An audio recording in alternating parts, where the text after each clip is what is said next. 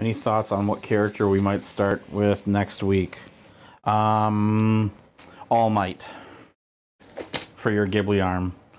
All Might will just be like freaking like power bombing um um the uh he'll be like slamming Totoro into the ground.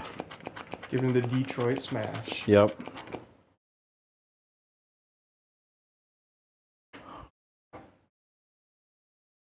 I'm wearing a Totoro shirt right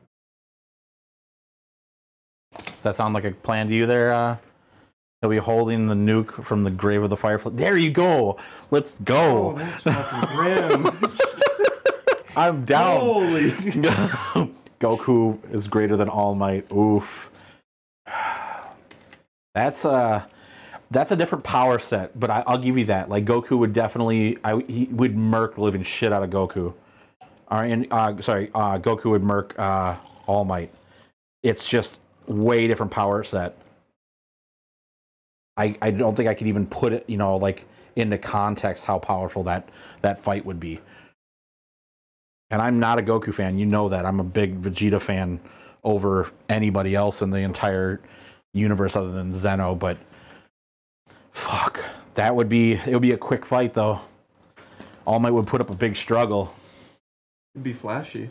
It would be It'd flashy. be real flashy.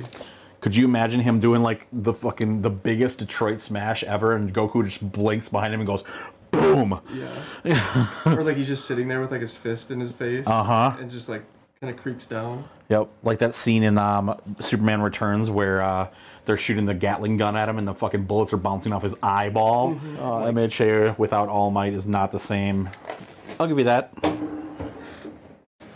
Well, yeah, because without All Might, then Deku isn't fanboying. True. Oh man, All Might is a really fun character though. He really is. Like he's not the greatest character in the whole wide world, but he is a very very fun character. Um he's like a combination of Roshi and Hercule in a big body. Like That's actually strong too. Right. yeah, Yeah. yeah. Yeah, no, I, I like that. I like that. because like Hercule's like stupidity and like gung ho ness. That's All Might right there. Yeah, his flashiness is for sure. But then like his power level being Roshi, like because Roshi, for, Roshi was definitely one of the most powerful guys for a while. Now he's not even close, but yeah, yeah. Roshi used to be like top tier, but he had a pretty good moment in the uh, tournament of power, but he saw some of the cute girl universe people, and he powered up and nose bled and some stuff out.